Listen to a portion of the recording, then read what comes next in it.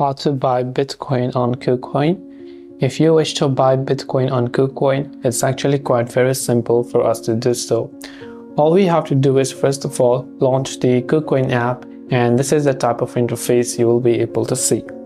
Now what you want to do is if you want to buy Bitcoin on KuCoin, you can actually go to the trade section from here, choose the type of trade you want to make and select BTC. Or you can go to the assets icon from the bottom right of the screen then select buy crypto directly option. Over here, we want to buy Bitcoin. So instead of USDT that is selected by default, we'll simply search for BTC.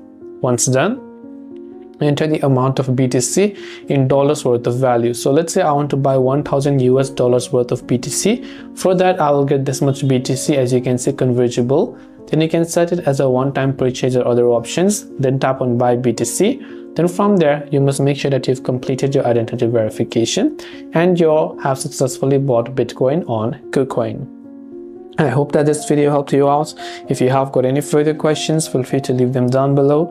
Thanks for watching till the very end of this tutorial and see you soon as always in the next video.